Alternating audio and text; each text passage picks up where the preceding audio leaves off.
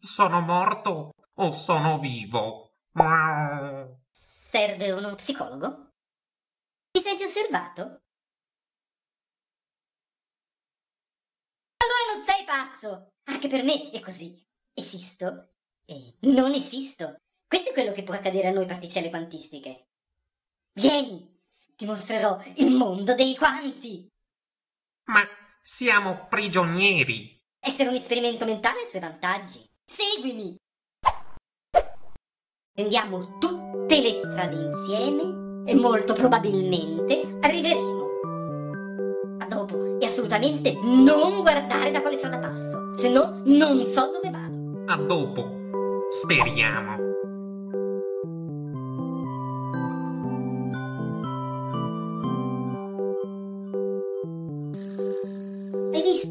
Sei arrivato. Sì, ma non chiedermi come.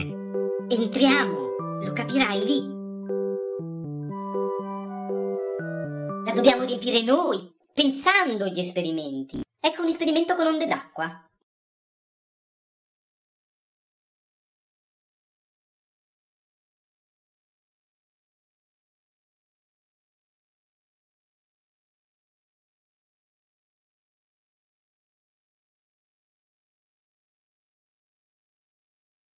L'onda che passa dal foro 1 interferisce con l'onda che passa dal foro 2. L'intensità delle due onde che si sovrappongono non è uguale alla somma delle intensità delle due onde prese singolarmente.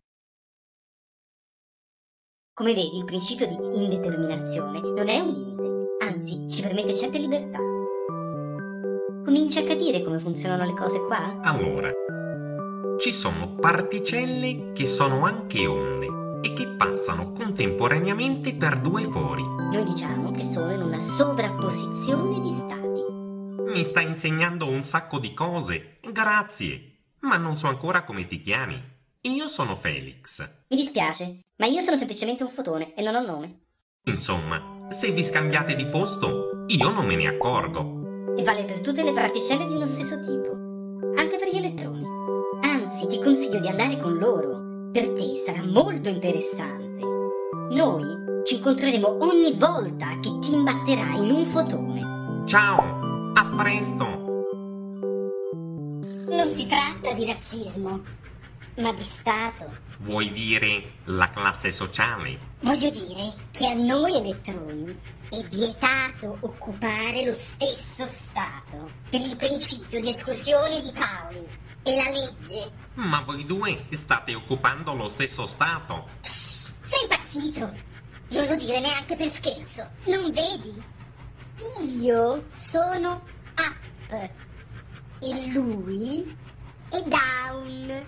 Siamo molto diversi e quindi non siamo nello stesso stato. Ma il fotone mi ha detto che siete tutti Un uguali. fotone. Ma per un fotone è diverso. Che ne sanno? Sono bosoni. Non sono soggetti all'esclusione. Voi non siete bosoni. Noi siamo fermioni. Un effetto del principio di esclusione è la varietà del sistema periodico degli elementi. Infatti, negli atomi, gli elettroni devono distribuirsi su livelli diversi, dando origine ai diversi elementi.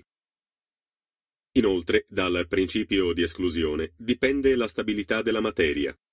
Ad esempio, due atomi di idrogeno stanno distanti gli uni dagli altri per evitare che i loro elettroni esterni si trovino esattamente nello stesso stato. I bosoni hanno una probabilità molto più alta di trovarsi nello stesso stato, piuttosto che in stati diversi. Fermioni e bosoni si comportano in modo molto diverso perché hanno valore di spin diverso. C'è una connessione spin statistica. In un sistema di bosoni nello stato di energia minima, ogni particella è nel suo stato di energia minima. In un sistema di fermioni nello stato di energia minima, le singole particelle non sono nel loro stato di energia minima. L'energia minima di un sistema di fermioni è enormemente maggiore dell'energia minima di un sistema di bosoni. Nei superconduttori gli elettroni accoppiati hanno spin intero e si comportano come bosoni. Sai, dipende da noi fermioni se esiste una struttura nella materia. Ma dove stiamo andando? In tribunale c'è un processo importante sul mistero dell'entanglement. Pare che sia stata violata la legge di località. Dimostrerò alla giuria che questa teoria è incompleta. Dov'è il suo compare? Non ho idea, ma molto lontano in questo momento.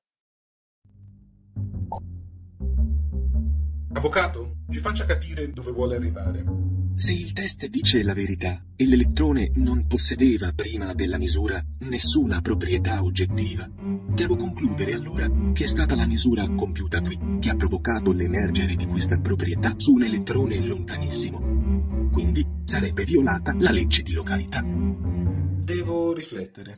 La corte si ritira per deliberare. Abbiamo vinto la causa! Vorrei chiamare a testimoniare il gatto Felix sul processo di misura. Obiezione! Effettivamente siamo entangled.